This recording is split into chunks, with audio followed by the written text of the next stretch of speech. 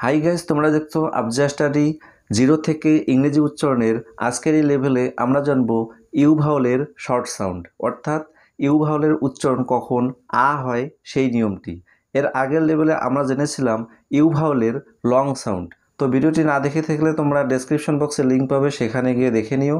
তো চলো কথা না বাড়িয়ে আজকে আমরা ইউ ভাওলের শর্ট সাউন্ডের নিয়মটি খুব সংক্ষেপে দেখে নিই।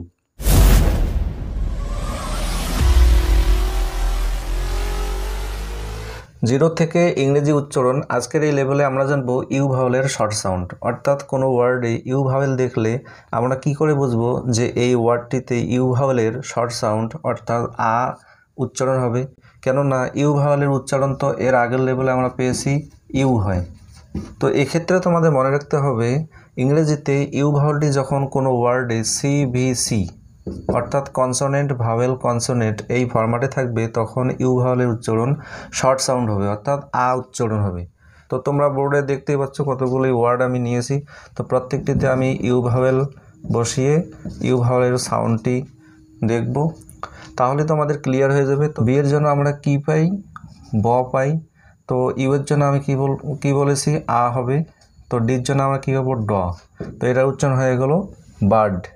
ঠিক আছে তো তারপর ওয়ার্ডটি দেখো বির জন্য আমরা ব পাবো তার ইউ এর জন্য আ পাবো টির জন্য আমরা পাবো ট হয়ে গেল বাট তো একই রকম করে সি সির জন্য আমরা কি পাই ক পাবো তারপর ইউ এর জন্য আ পির জন্য প হয়ে গেল কাপ এরপরে দেখো সি সির জন্য ক ইউ এর জন্য আ টি এর জন্য ট হয়ে গেল কাট তারপরে একই রকম করে এফ এর জন্য আমরা কি পাই ফ তারপর ইউ এর জন্য আ আর এন এর জন্য ন। হয়ে গেল ফান। এবার এই ওয়ার্ডগুলিতে দেখো যে কেন এখানে ইউ এর উচ্চারণ আ হচ্ছে। বার্ড, আ বাট আ কাপ কা কা, বা, কা কা, ফা। আ হচ্ছে উচ্চারণ। কেননা এখানে প্রথমের লেটারটি দেখো কনসোনেন্ট তারপরে দেখো ইউ ভাওয়েল, আবার ডি হলো কনসোনেন্ট। প্রত্যেকটি ওয়ার্ডে দেখো প্রথমে কনসোনেন্ট, তারপর ভাওয়েল, ইউ, তারপরে আবার কনসোনেন্ট। অর্থাৎ দুটো কনসোনেন্টের মাঝখানে এখানে ইউ ভাওয়েলটি বসেছে। তাই ইউ ভাওয়েলের উচ্চারণ এখানে আ হচ্ছে। ঠিক আছে? তো পরের ওয়ার্ডগুলি দেখো একই রকম করে, জি এর জন্য আমরা কী পাই? গ পাই, ইউ এর জন্য আ, এন এর জন্য ন। হয়ে গেলো গান।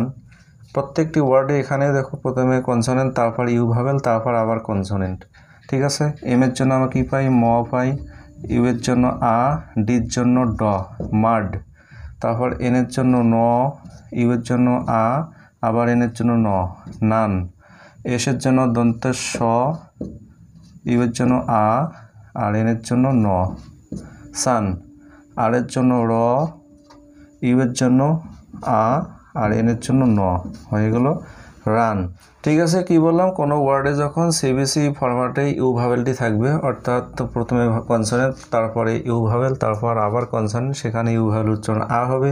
তো এবার আমরা প্রথম থেকে শেষ পর্যন্ত ওয়ার্ডগুলির উচ্চারণ আরেকবার দেখব এবং তার সঙ্গে মানে জানার চেষ্টা করব।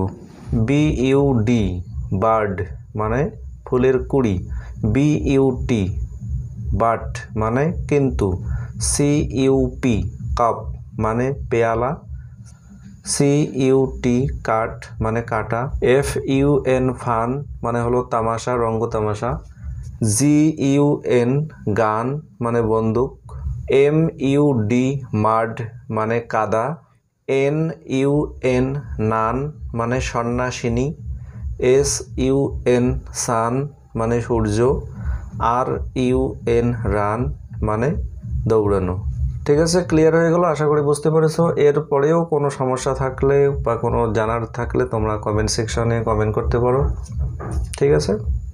তো কাজ আজকে এই পর্যন্তই। ভিডিওটি ভালো লাগলে অবশ্যই একটি লাইক করে দেবে এবং বেশি বেশি শেয়ার করে সবাইকে দেখার সুযোগ করে দেবে।